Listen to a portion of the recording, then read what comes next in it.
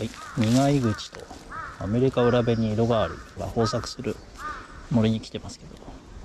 カラッカラで何もないですね。意外や意外。引っこ抜かれた坊や発見。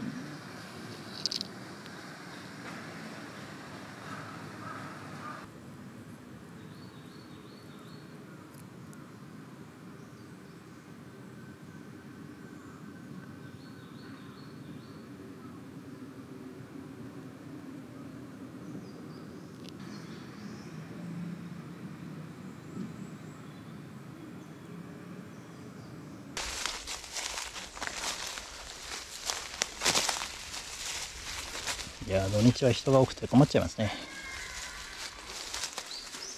ほどほどに湿ってきましたけどね。びっくりするぐらいキノコいないです。嵐の前の静けさだろうか。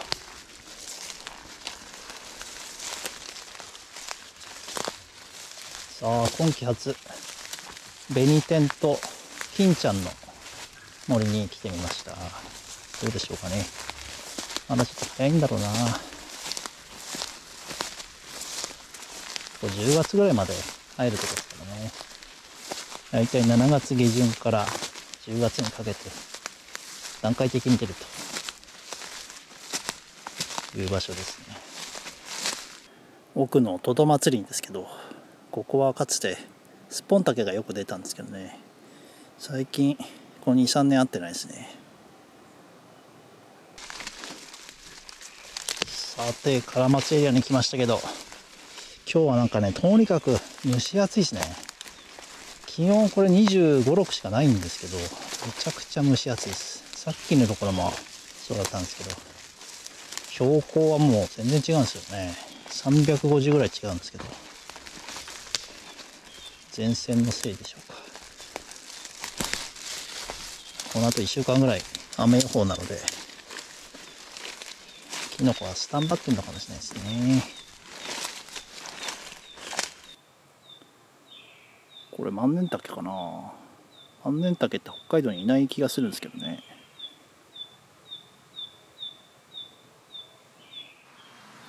金ちゃん。あっけん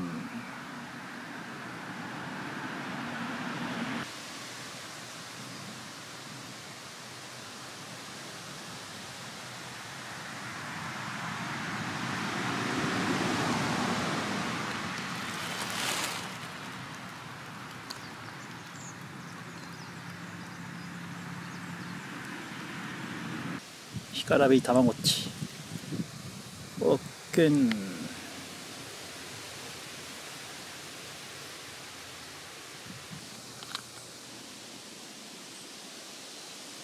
なんすかね。黄色っぽいから。黄金山鳥かな。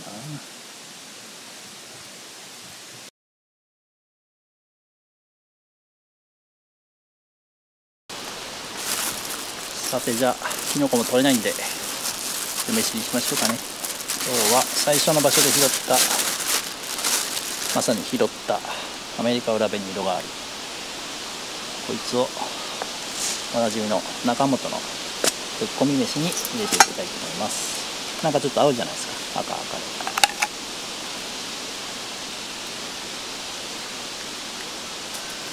状態はすごいです。相変わらずペンキ臭い。どうしようかな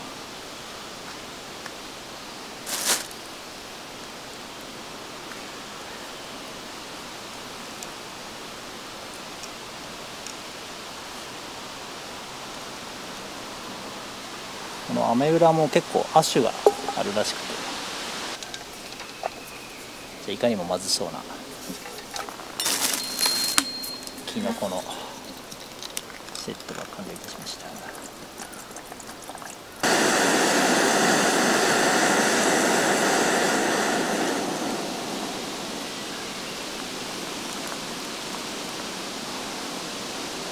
足を止めると涼しい体を動かすと蒸し暑いよしこんなもんかな。今日は先にきのこも投下して一体化していただきましょう。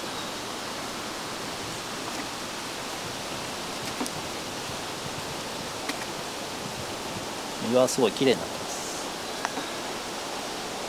その分汁が変色してますね。麦茶みたいになりまし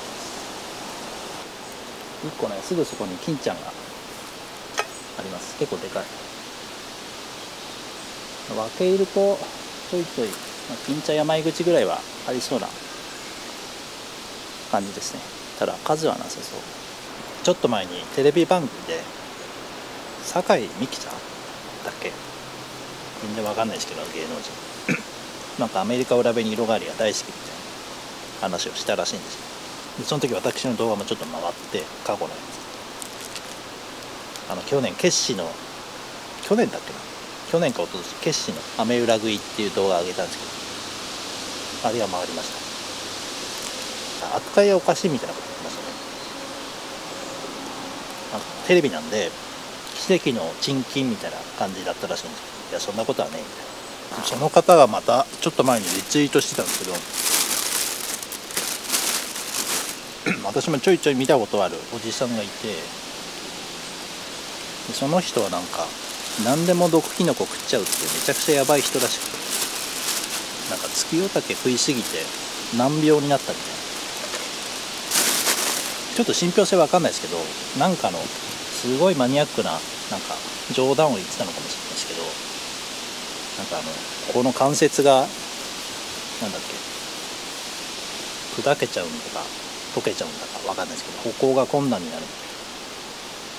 確かそんなような病名だった気がするんですけど、ね、月夜竹を常に食うって絶対やばいですよ私は絶対やんない。まあそんだけやったってことはうまいんでしょうけどね。はい。出来上がり。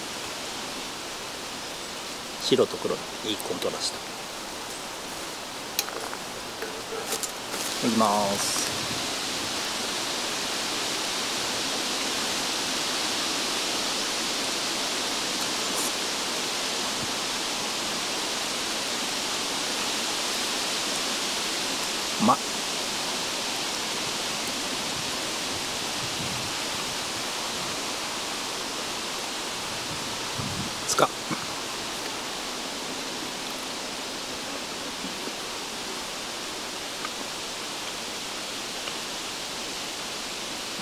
癖がない。傘。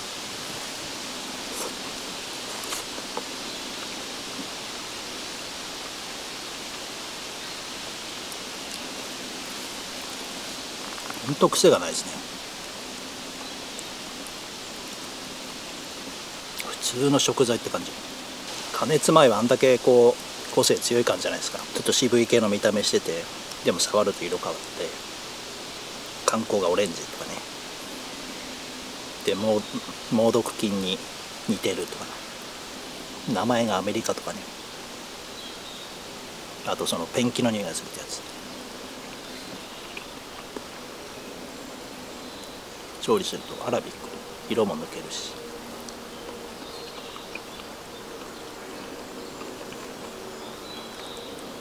だから本当乾燥今してますけど家で。楽しみですね。昼飯から車に帰る途中にチンキンが見つかりましたね。見逃すとこでした。上り流系の何かです。結構でかい。何ですかね。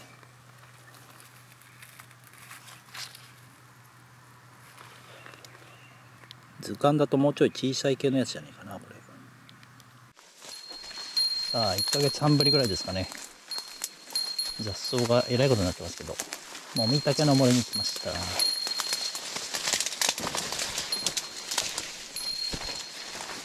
前回来た時はまさかのこの入り口の朽木のところにシャックマンがたくさんいましたけどね。まあもう跡形もないんじゃないですか。跡形はあるね。跡形あります。の下にあったやつも忽然と消えてますねよくできてますね銀の世界は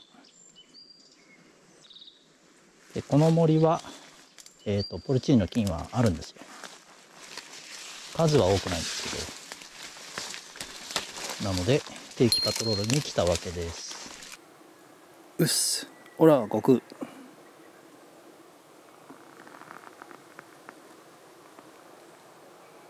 カカロットの息子？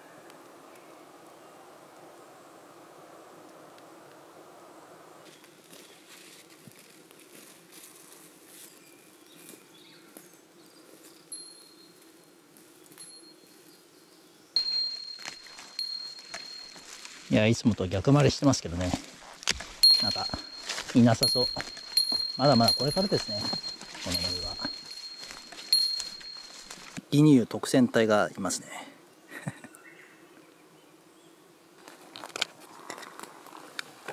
グルド、ジース、バータ。忘れた。いっぱいある綺麗ですよね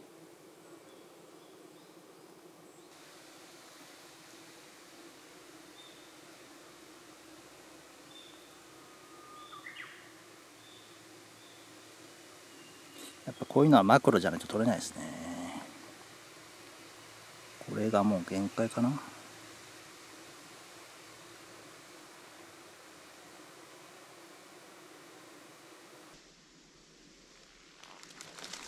い。私のキノコは HP があと25ぐらいになってきました。最後の場所どうしようかな。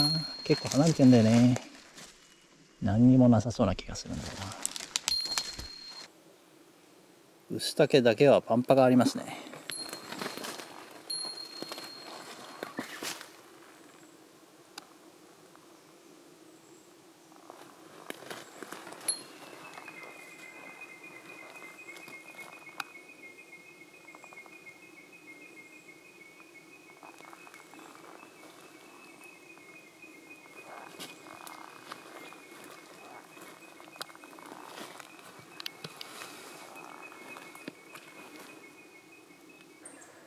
お北毛出ました。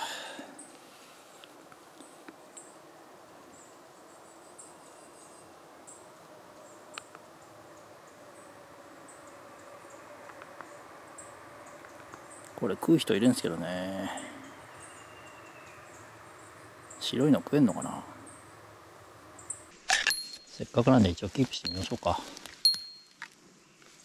今度俺行こうかな。小型の高部行くか。取りやすいんだ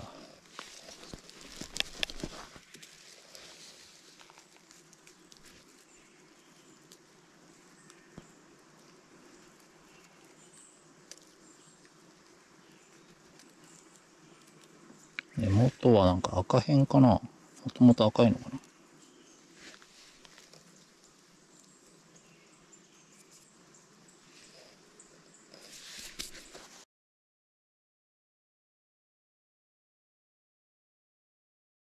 はいどうも皆さんお疲れ様です。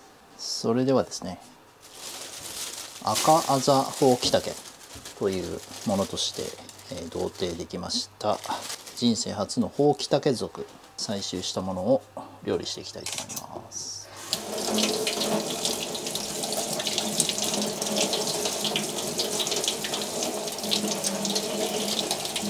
まあ想像通り洗うのはちょっと大変でしたね。改めてチェックしてみますと、まあ、基本は全体的に白。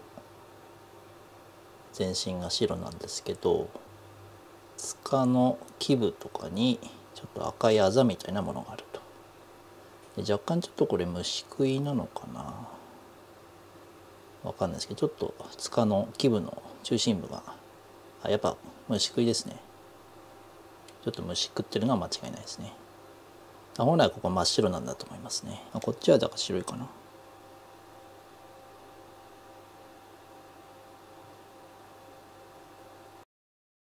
今日はシンプルにバター炒めしていきます。まず間違いなく味が薄いと思いますので食べる時に適宜醤油などを足していこうと思います。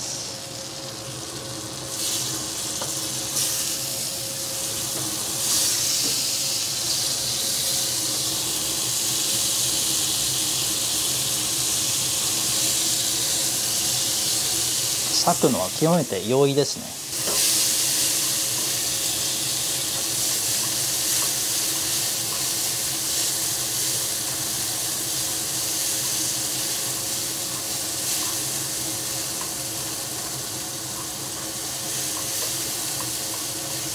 この赤あざほうきたけはですね本当に情報がなくてまあ当然図鑑にも載ってないし私の愛用しているウェブ図鑑札幌きのこの会の札幌近郊のきのこっていうところのページに参考で載ってました。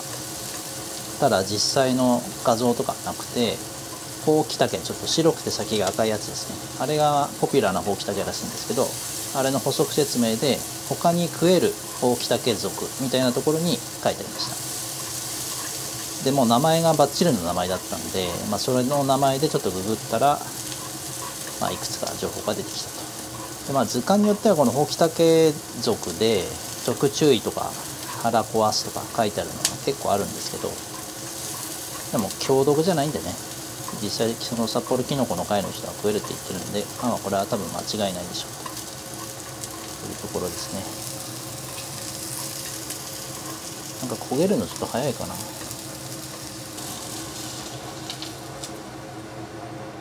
ょっと寂しいですね量が。でかい株取ってきた方がよかったかな。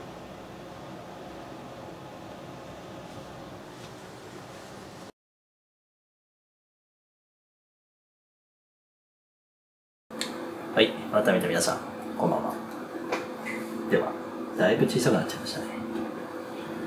初のほうきたけ族。赤あざほうきたけ。いただきたいと思います。じゃあまずはバターだけで本当に酢で炒めただけの状態をいただきますいただきます香りは？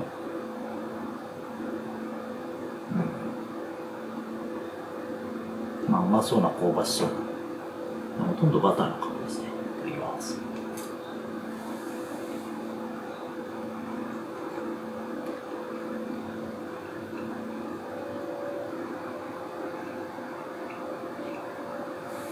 う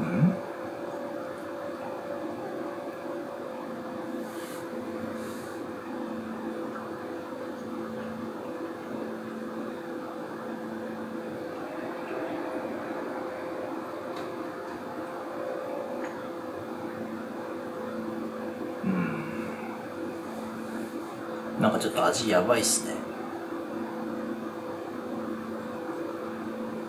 あのねうまみはあります。噛んでいくとだんだん甘甘い系のちょっととろんとしたうまみが出てきます。でも舌に入れて噛み始めた瞬間に一瞬なんかね苦い感じがするんですよ。明らかに。もう一回言ってみますね。うん。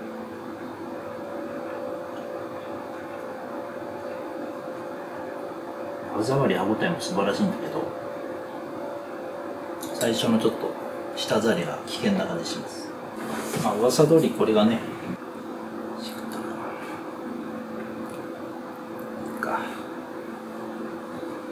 ちょっとマイクの設定しくりましたね。申し訳ありません。ちょっと聞こえが悪いかもしれないですけど。取り直し聞かないんでこのままいきますね。なのでちょっと刺身醤油。かけて多分ちょっと味濃くしないとこの苦味みたいなやつを消した方がいいと思うんだよ。醤油をちょっと垂らした。まあバター醤油といったら黄金ですよね。やります。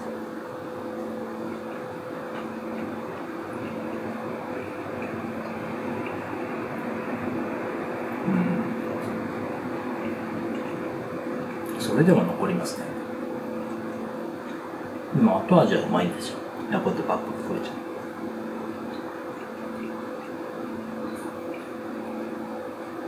不思議ですね。不思議な味のキノコです。あんまりちょっと近いところが思い浮かばないですね。かいわれ大根とかスパイス系の何かって感じですかね。うん。でもうまいですね。なんかねちょっとうまさが肉っぽいんですよ。